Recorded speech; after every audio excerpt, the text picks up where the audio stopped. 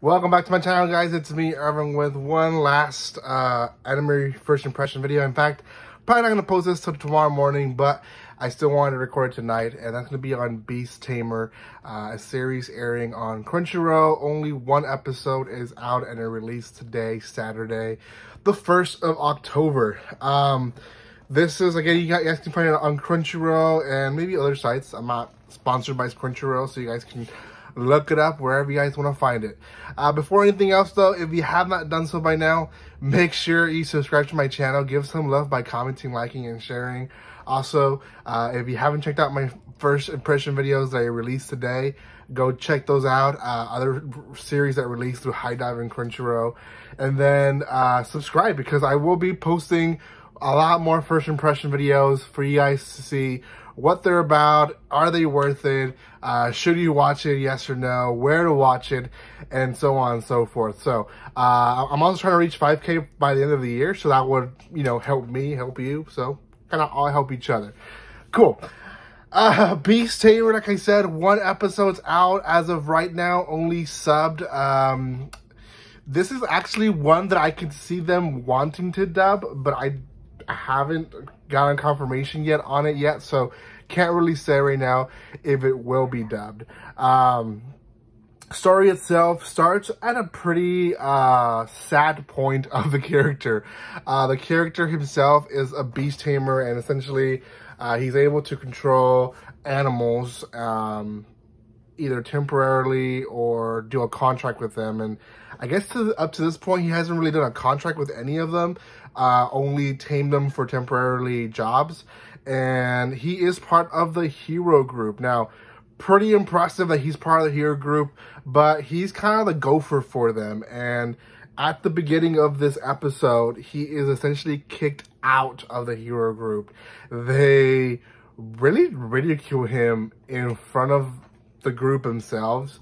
And they all kind of have like real negative points uh, to basically point out of him and essentially make him feel like he was really never respected. He was always seen like a gopher. And what I mean by gopher is as in the errand boy. He was the one that would go and buy the materials, go and deliver stuff, go and uh, buy food, and, and, and so on and so forth. So he was really used as more of a servant, and his abilities were, were always uh, put down, and essentially he, I feel like he never grew because he was told that where he was at was all he was going to be.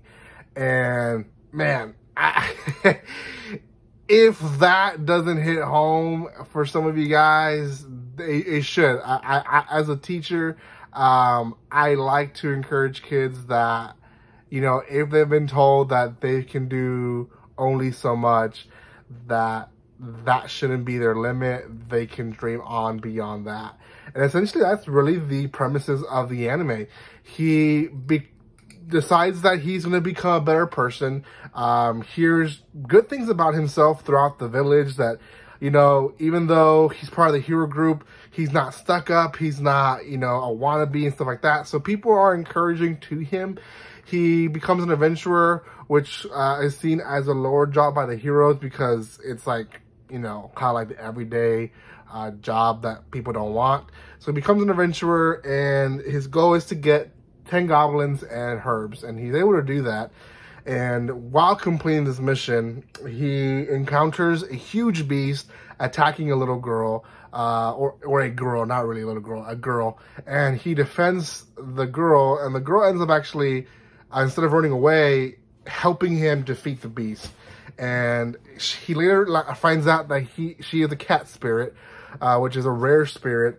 Um, he's very amazed that, you know, there's one in existence still. And she kind of explains that, you know, they live in the mountains and they kind of have boring lives. So she decided to explore and she decided to meet him and they become real good friends. And then she's like, wait, you're a beast tamer? Well, maybe you can tame me. I'm, I'm, a, I'm technically a beast. And yeah, he's able to actually done do a permanent contract with her and he tames her as one of his beasts. Now, uh, after that, she encounters him being able to do multiple temporary contracts with a bunch of little rabbits. And This is actually a scene that if you're watching the first episode and you're kind of like me, once the end credits show up, you kind of stop watching it. Don't do that.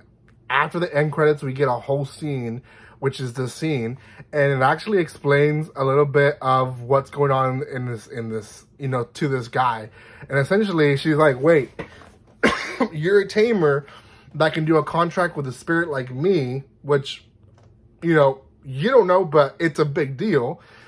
But then after that, you can do multiple contracts with uh, with you know a lot of beasts at the same time. And he's like, yeah, I've been doing that for forever. Like that's that's just kind of things like you don't realize, but you're a very rare beast tamer. Your ability is beyond what you believe it is. And that's kind of the end of the episode. Again, the message itself is actually a pretty good message. And I myself shared or tried to share that message. I, I, I you know, sometimes it's not easy to do that to every single student, but I do try my best to share that message is that a lot of people uh, have grown to be in a box, I guess, in their abilities, and they've decided at a very young age, sometimes even very young, like 10, 12, that what they can do is all they can do. And that's not the case for a lot of people. A lot of people uh, can do a lot more. And eventually people realize that on their own, but there's other people that just the potential that they had is just wasted away because someone told them and someone they respected told them that that was all they were going to be. And it's just beautiful to see how this character is going to develop.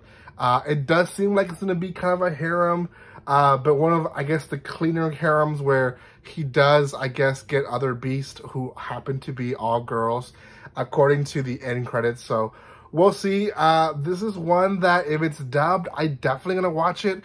Don't know if I'm gonna finish it if it's not dubbed, but we'll see. If I have time, I might actually watch this one. It's very cute. Out of 10, I'll give this one 6.5. I think it's doing its job. A lot of people are going to enjoy it. And it's very sweethearted. And I, I really wish uh, and he gets his revenge against this very jerky hero group. So anyways, guys, thank you so much for watching this. If you haven't done so by now, comment, like, and share. And subscribe to my channel. Check out my other first impression videos.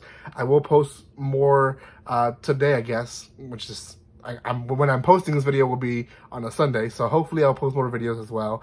And uh, I'll see you guys next time. Like always, don't be strangers. See you guys.